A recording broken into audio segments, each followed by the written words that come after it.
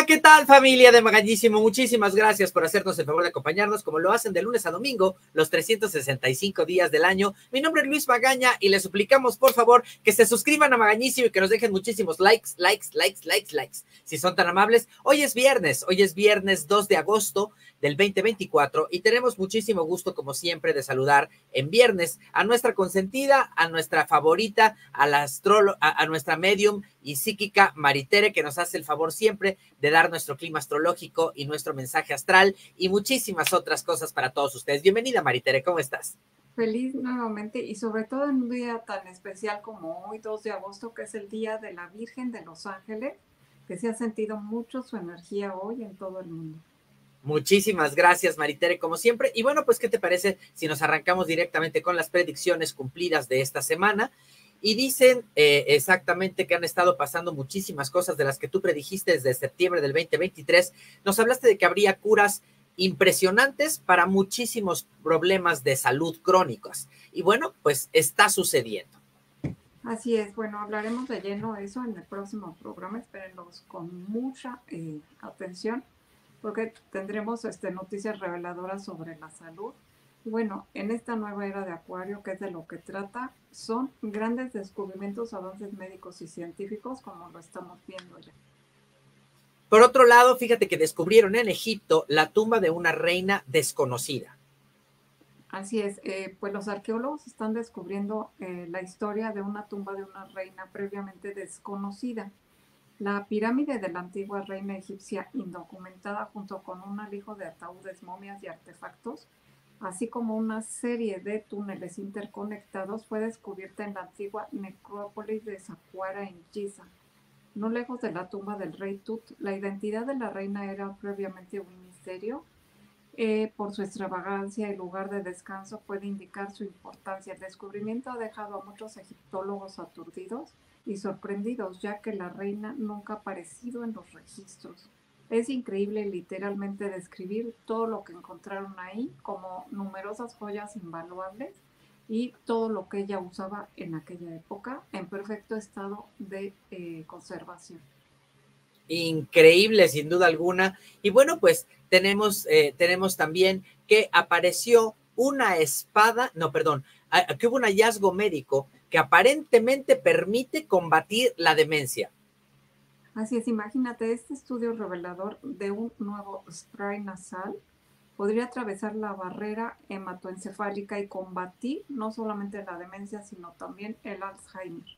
Este nuevo aerosol nasal puede mejorar muchísimo la memoria y este estudio de un equipo internacional dirigido por investigadores de la Universidad de Texas han puesto ya en práctica en algunas personas que pues han acudido a hacer este experimento y también en cerebros de ratones que participaron con mucho éxito. Suena verdaderamente espectacular, ¿eh? Y por otro lado, Maritere, ya nos habías dicho en abril del 2023 que habría muchísimos descubrimientos sorprendentes en medio del bosque y en el agua. Y apareció una espada de hace 700 años en un bosque. Así es, imagínate, es en un pequeño bosque privado en Inglaterra bajo un árbol y dentro de una cueva fue encontrada esta espada de 700 años que se cree que ha pertenecido a los caballeros templarios. Este descubrimiento se realizó en una mansión muy apartada en el bosque y asimismo sugiere que la cueva pudo haber servido como refugio durante la persecución del año 1312. Durante ese periodo numerosos caballeros templarios fueron capturados y sometidos a tortura así como a hoguera. Este hallazgo ofrece una fascinante ventana en la historia y arroja mucha luz sobre los métodos utilizados por los templarios para protegerse de todos los peligros. Y aparentemente estamos en época de revuelta política en el mundo, como tú ya lo habías previsto desde septiembre del 2024, y hay impresionantes cambios de gobernantes y gobiernos. También lo hemos repetido ya varias veces que van a caer gobiernos y gobernantes. Esperemos de aquí al 18 de agosto, en donde pues en lo que viene de aspectos astrológicos se ve caída de gobernantes, eh, algo eh, pues que es inesperado, pero va a suceder. Sensacional, sin duda alguna sensacional que estén pasando este tipo de cambios, porque bueno, pues una refrescadita en la historia nos vendría muy bien. Encuentran un nuevo continente escondido Así es, descubren este continente escondido entre Canadá y Groenlandia que se formó hace 60 millones de años. Este increíble hallazgo por científicos que han descubierto este microcontinente en Groenlandia está eh, protomicrocontinente del estrecho de Davis y pues que revela fascinantes detalles sobre la historia tectónica del Atlántico Norte. Wow, pues suena, pues suena bastante atractivo sin duda alguna. Y bueno, Maritere, pues tenemos algunas llamadas del público.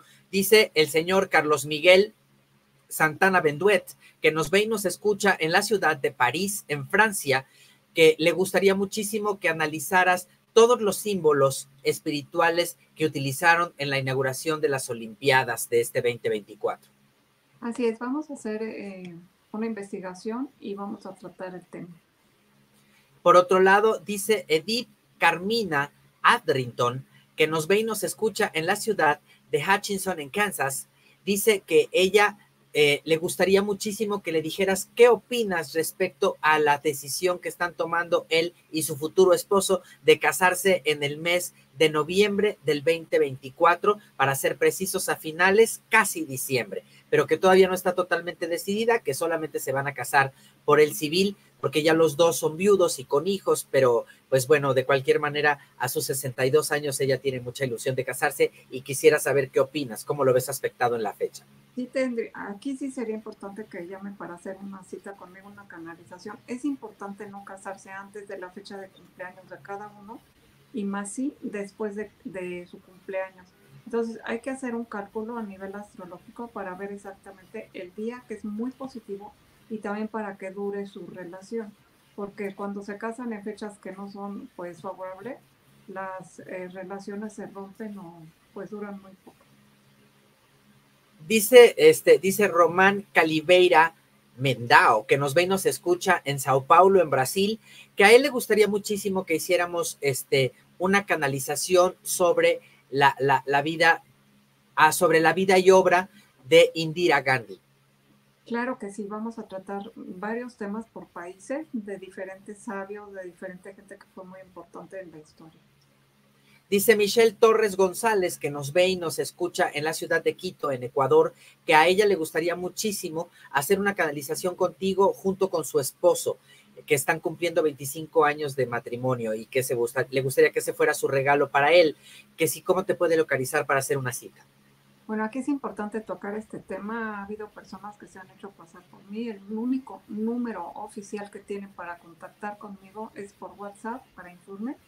Eh, la clave de México es la 52 y el número es 5510-689414. Es el único número que es el oficial.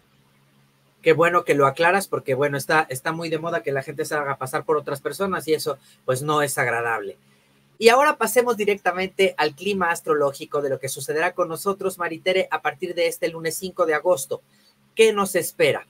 Bueno, mira, vamos a tener primero, este fin de semana tendremos el 4 de agosto la luna nueva en el signo de Leo, que es muy importante para sembrar, para eh, pues tú hacer nuevos proyectos que tengas. También les podría decir que pueden poner todos sus gemas, cuartos y demás a la luz de la luna y después al mediodía a la luz del sol.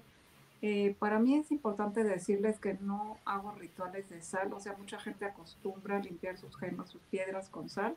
He visto muchas personas que lo hacen y pues lo único que se traen son salaciones, después de un tiempo todo les va mal. Hay gente que también se baña con sal y en un tiempo a lo mejor al principio puede ser que les vaya bien, después les va pésimamente. Para el día 5 de agosto tenemos a un Venus ingresando en Virgo, que es para relacionarse eh, eh, de forma para poder ayudar a los demás, de forma muy compasiva, de forma muy amorosa. Y sobre todo este día 5 es muy bueno para el amor, para aquellas personas que quieran, pues ahora sí que hacer una pedida de mano o declarar su amor el 5 de agosto. Y tendremos a Mercurio ingresando en el signo de Virgo, para ingresarnos su máximo poder de análisis y poner un nuevo orden en nuestras vidas. Es tiempo de reacondicionar, de revisar, de reformar todo aquello que tengan pendiente. Estamos todavía en Mercurio retrógrado que va a durar su cauda al final hasta el 5 de septiembre. Aunque salga un poquito antes, es importante no tomar decisiones de firma de contratos ni tampoco de cirugías estéticas, porque al salir de este Mercurio retrógrado es posible que ustedes se impacten de que lo que habían pedido pues no salga bien. Y les adelanto que el 14 de agosto vamos a tener a Marte que se une con Júpiter en Géminis, la acción en potencia, con la expansión, momento de iniciar algo grande que transgreda los límites conocidos. Ahí a partir de esta fecha, del 14 de agosto hasta el veintitantos más o menos, es donde viene la caída de gobiernos y gobernantes de grande nivel, o sea, algo impactante y también pleitos entre gobernantes que serán pues noticia para todo el mundo. Bueno, pues tenemos también ahora uno de los momentos favoritos de nuestro programa, Maritere, cuando la gente le encanta que te pregunte que cuál será nuestro mensaje este celestial que nos dicen los ángeles para esta semana que comienza el lunes 5 de agosto. Mira, a partir de hoy que tenemos el día de la presencia y manifestación de la Virgen de los Ángeles, que hoy es el día que se manifestó, eh, ella nos va a proteger siempre como nuestra Madre Celestial desde el cielo. Los ángeles nos hacen recordar que no estamos solos, que aquellas personas que sienten, porque su mamá ya trascendió, que ya no se encuentra aquí entre nosotros en este mundo terrenal, invoquemos siempre la presencia de nuestra Madre Celestial, la Virgen desde el cielo, que siempre está para consolarnos, para estar con nosotros en los momentos difíciles, junto con los ángeles de luz que están ahí también para protegernos y, ayudarnos. Y bueno, pues tenemos algunas otras llamadas del público. Maritere dice eh, la señora Claudia Yvette Abigwright, que nos ve y nos escucha en la ciudad de Washington, D.C., que ella constantemente sueña que vuela, y que, y que después este, incluso se mete en el fondo del mar y vuelve a salir y vuelve a volar y, como que va cambiando de personajes. ¿Qué, ¿Qué significa eso? Bueno, recordemos que nuestro cuerpo físico es terrenal, es tangible, es eh, de carne y hueso, pero nuestra alma es efímera, nuestra alma está hecha de luz astral y nuestra alma tiene esos poderes de poder viajar en todas las dimensiones, atravesar las paredes, los espacios y demás, porque tiene eh, pues esa cualidad y bueno, posiblemente ella está teniendo desprendimientos astrales, está haciendo estos viajes astrales y los está haciendo lúcidamente o tal vez por medio de los sueños. Muchas personas pueden recordar a qué lugares fue su alma mientras dormía y también a veces cuando estamos haciendo alguna actividad que de repente nuestra desprende una parte de ella de nuestro cuerpo y tenemos un déjà vu en donde podemos recordar que esto ya lo hicimos o ya lo vivimos antes son cualidades del alma, más no del cuerpo físico. Más no del cuerpo. Wow, eso suena bastante interesante. Y luego dice Artemio Sánchez Vidiera, que nos ve y nos escucha en la ciudad de Medellín, Colombia, que él tiene la intención de viajar a Groenlandia en el mes del mayo del 2025. ¿Que tú qué opinas al respecto? Que si está bien aspectado el tiempo. Eh, ¿En qué fecha es? Mayo del 2025. Eh, es una buena fecha también eh, por el clima que se da por aquellos lugares. Creo que es eh, de las mejores fechas o también en septiembre. Perfecto, perfecto. Este, por otro lado, tenemos a la señorita Rubí Articiaga Montemayor, que nos ve y nos escucha en Monterrey, Nuevo León, y dice que a ella le gustaría muchísimo comprar tus libros, que si le puedes hacer favor de decir de qué se tratan y cómo los puede adquirir. Los cuatro libros que tengo hasta ahora son una canalización de lo que yo pude percibir cuando estuve en coma regresar, lo que recordé y pues lo empecé a anotar eh, según iban llegando estas manifestaciones, recuerdos de vivencias que tuvo mi alma. Al salir del cuerpo, pues en ese trance que tuve de peligro de pues ya no regresar a la vida terrenal y eh, pues quiero ahí compartir con ustedes qué es lo que yo vi en el más allá, cómo son los jardines celestiales, quiénes me recibieron, qué fue lo que me enseñaron y a dónde me llevó mi ángel. Suena bien lindo, definitivamente. Y luego dice Carlos Daniel Aguilera Briones, que nos ve y nos escucha en la ciudad eh, de, New York, en los Estados Unidos, que él es hijo de poblanos y que le gustaría muchísimo que hiciéramos un programa en el que pudiéramos analizar algunas de las catedrales y las iglesias importantes de Puebla, que hay muchísimas. Así es, creo que es la ciudad o la provincia de México que tiene más iglesias y vamos a hacer un programa especial relacionado a Puebla. Perfecto, Maritere. Pues ahora sí, llegó el momento que todo tu público espera con muchísima ansia y con mucho gusto y con mucha emoción, cuando vamos a, abarcar el programa el día de hoy. El tema es la historia de Nuestra Señora de los Ángeles. Te escuchamos, Maritere. Mira, es importante saber que la Virgen es una, es la Virgen María, la Madre de Dios, en sus diferentes manifestaciones y advocaciones en las que ella elige cómo se va a presentar ante el pueblo, ante las personas, dependiendo la época en la que ella viene al mundo a traer mensajes importantes. La manifestación que ella eligió como la Virgen de los Ángeles fue en Costa Rica y su historia se remonta al siglo XVII, en donde en el año 1635 un indígena llamado Juan Lorenzo encontró una pequeña estatua de madera de la Virgen María. Asimismo, en el Cerro del Posar, cerca de Cartago, la estatua desapareció y misteriosamente volvió a aparecer en el mismo lugar varias veces, lo que ahí se consideró un gran milagro. La estatua fue llevada a la iglesia de Cartago en Costa Rica, lo que se interpretó como un signo de que la Virgen deseaba que se construyera una iglesia en ese lugar. La iglesia se construyó y se convirtió en un importante sitio de peregrinación, en donde se atribuyen varios milagros a la Virgen de los Ángeles, que eh, se manifestó con muchos ángeles dorados alrededor y se celebra cada día 2 de agosto. Es una de las festividades más importantes de Costa Rica. La Virgen María, considerada la Madre de Jesús y venerada en muchas religiones cristianas a lo largo de la historia, se le han atribuido miles de milagros y apariciones, como las siguientes. La aparición en la Virgen de Lourdes en Francia en el año 1858, donde se le apareció a Bernadette Soubirous, quien informó de 18 apariciones y el agua de la fuente de Lourdes brotó milagrosamente y ahí se han curado de cosas pues y, eh, peligrosas e intratables muchas personas que ya habían declarado pues gravísima. La aparición de la Virgen de Fátima en Portugal en el año 1907, donde la Virgen María se le apareció a tres pastorcitos, Lucía, Francisco y Jacinta, quien informó de secretos y predicciones para el mundo. También en este lugar en Fátima, eh, que es un lugar de peregrinaciones, también ha habido muchísimas curaciones milagrosas y a veces tal vez también sin haber ido hasta ese lugar físicamente, solo con tener la fe y visualizar a la Virgen María en esa ocasión, también personas que están en los hospitales se han curado.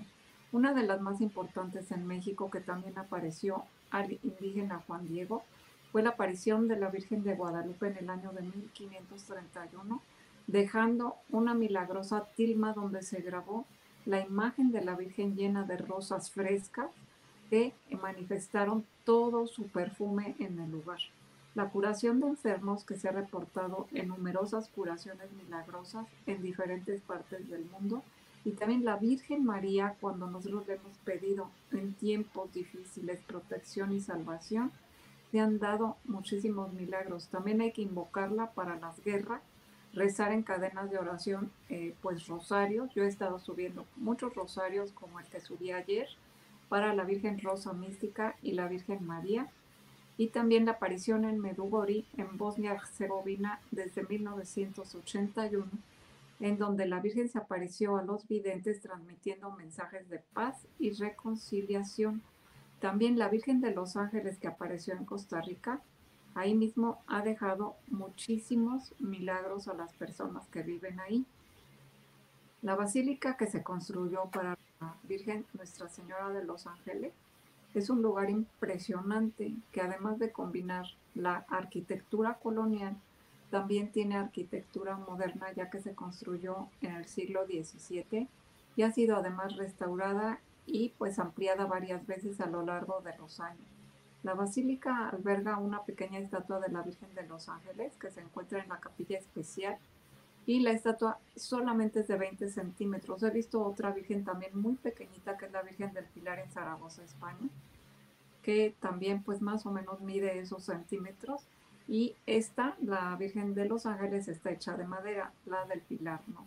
La tradición cuenta que la Virgen de los Ángeles es patrona de Costa Rica y de muchas partes del mundo, no solamente ahí, sino que también se venera en Italia, en donde se originó eh, pues otra de las apariciones de la porciúncula en Asís a San Francisco de Asís. En España es patrona de la ciudad de Getafe y en Chile, en la ciudad de Los Ángeles, que fue fundada con este nombre, tiene la advocación de su patrono. En México, la Virgen de los Ángeles es venerada en la ciudad de Puebla, de Los Ángeles en México, y en Estados Unidos hay una misión de Nuestra Señora Reina de los Ángeles en California. Asimismo, la Virgen de los Ángeles pues es una advocación mariana que, como dije, se venera en distintas partes del mundo, pero recordemos que siempre es la Virgen María, la Madre de Jesús, con diferentes nombres en diferentes lugares donde se ha manifestado y ha aparecido. Hay otras curaciones milagrosas de las cuales también les hablaré hoy. Pues definitivamente es un tema muy interesante y que la gente te había pedido con muchísima frecuencia, Maritere. Y tenemos algunas llamadas del público, por ejemplo, este dice, ay, ya, ya se me, ya, se me trabó aquí la cosa, ya no podía yo ponerme otra vez. Este, dice, dice la señora, espérame, aquí están las llamadas, eh, María del Carmen Rivera Aubert, que, este, que a ella le gustaría muchísimo saber si la Virgen, si, si, las, si las vírgenes que veneramos en Latinoamérica, como por ejemplo este, la, la señora de los ángeles, también tienen manifestaciones, este, ¿cómo se llama? Eh, milagrosas en otras partes del mundo, que si podríamos hablar justamente de estos milagros. Y mira, como te digo, la Virgen María, Madre de Jesús, es la que se manifiesta, se aparece en diferentes regiones del mundo, con diferentes ropajes, diferentes hábitos, diferentes mantos. Y pues en México, como se apareció la Virgen de Guadalupe con rostro y piel un poco morenita, así se llama morenita del Tepeyac, es para hacerse afín a los eh, habitantes de cada lugar. Y bueno, también aparecido en el mar como la Virgen Estela Maris o la Virgen del Carmen. Es una sola que tiene poderes milagrosos. Cuando la Virgen María eh, ya había fallecido Jesús su hijo, en donde ella vivió y por donde ella iba caminando, siempre desprendía aroma de rosas, aroma de santidad. Imagínate el poder tan milagroso que tiene la Virgen María para manifestarte en situaciones difíciles que está viviendo una persona o en diferentes países o ciudades para que ella se manifieste como la pueden ver muchas personas en el lugar donde eh, pues aparecen. Dice, dice Dana Itzel Vallarta Baena que si podrías compartirnos alguna, alguna oración dirigida a, precisamente al tema de hoy, que es el de Nuestra Señora, eh, de nuestra, eh, Nuestra Señora de los Ángeles. Así es, vamos a cerrar el programa con esa oración milagrosa a la Virgen María. Pero antes también quiero decirte que la Virgen, en lo que está grabado en lo que son los evangelios, eh, pues también tenemos la curación de la hija de una mujer Ciro de Fenicia. La Virgen María intercedió ante Jesús para curar a la hija de esta mujer que estaba poseída. Esto está escrito en el Evangelio de Marcos, en el capítulo 7, versículo 24 al 30. La multiplicación de los panes donde la Virgen María le pidió a Jesús que ayudara a una pareja que no tenía suficiente vino para sus invitados en las bodas de Cana, donde Jesús multiplicó por, porque se lo pidió la Virgen María el pan y el vino, escrito en el Evangelio de Juan capítulo 2 del versículo 1 al 11. La curación del ciego Bartimeo donde la Virgen intercedió para que Jesús le devolviera la vista a este ciego que está en el Evangelio de Marcos, capítulo 10, versículo del 46 al 52. Y la aparición de la Virgen de Lourdes, donde la Virgen María apareció a Bernadette Subirú, en donde se han hecho milagrosísimas curaciones por medio del agua de la fuente de Lourdes. Aparición de Fátima en Portugal, y en donde cuando uno pide por la intercesión de la Virgen también ha habido curaciones milagrosas, protección en tiempo de guerras, de revueltas, en donde la, la Virgen María ayuda a que se acabe todo este tipo de manifestaciones y también en las epidemias. También la Virgen María, María ayuda en la conversión de los pecadores y pues ayuda a convertir a este tipo de personas y también en los desastres naturales, la intercesión de la Virgen María en la vida de los santos a lo largo de la historia para pedir su intercesión. Y bueno, si te parece, vamos a hacer esta oración que es muy milagrosa a la Virgen de los Ángeles. Cada uno puede eh, rezar con sus propias palabras, pero esta es muy, muy milagrosa. Cierren sus ojos y hagan su petición, ya que hoy precisamente que estamos transmitiendo el programa es el día que se celebra la manifestación de la Virgen de los Ángeles. Virgen de los Ángeles, Reina de los cielos y de la tierra, Madre de Dios, nuestra protectora, hoy yo te invoco con fe y devoción. En tu misericordia y bondad te hago esta petición. Aquí cada uno pida lo que es necesario.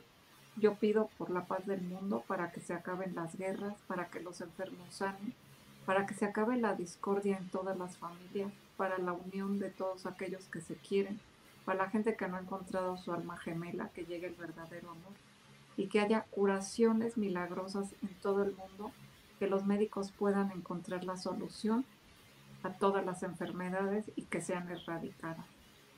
Que haya abundancia en el mundo y que nadie sufra por carencias de comida, de alimento, de agua y que todo el mundo tenga una casa donde pueda estar bajo su protección.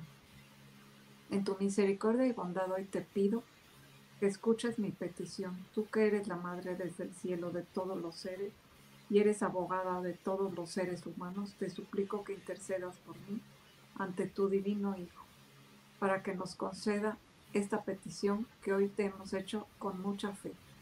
Virgen de los ángeles, tú que has sido elegida por Dios para ser su madre en el cielo y en la tierra, que has sido testigo de sus milagros y maravillas, te pedimos que nos ayudes a tener la providencia divina. Concédeme, oh Virgen de los ángeles, que mi corazón se llene de luz, de amor y compasión por todos nuestros hermanos en este mundo terrenal. Que cuidas y protejas a todos los seres humanos, a todos los animales y a toda la creación de tu Hijo. Danos fe, esperanza y caridad para que siempre te sigamos y te imitemos en tu humildad, obediencia y amor a tu Hijo.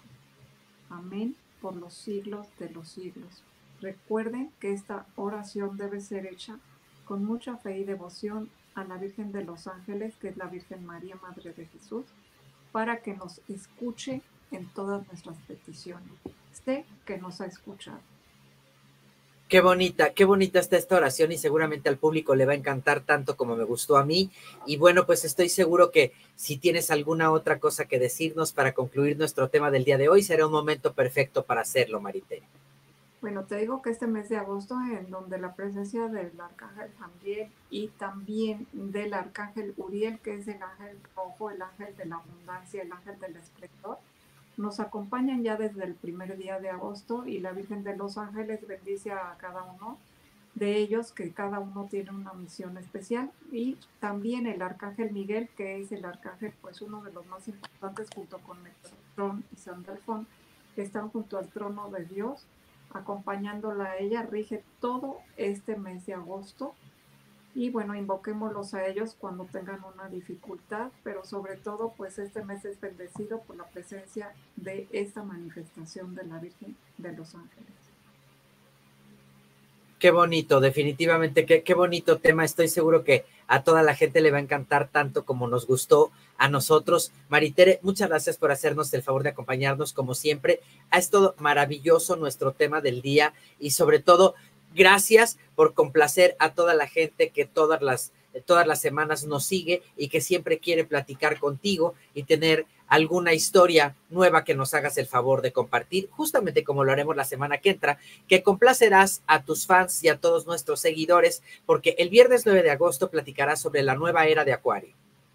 Así es, la nueva era de Acuario, ¿qué es lo que nos trae? Mucha gente tiene dudas de qué tanto se habla de la era de Acuario Y bueno, recuerden que para canalizaciones o consultas conmigo el único teléfono es el 55 10 6 8 9 4 14 con la clave 52 de México en donde yo misma les atenderé.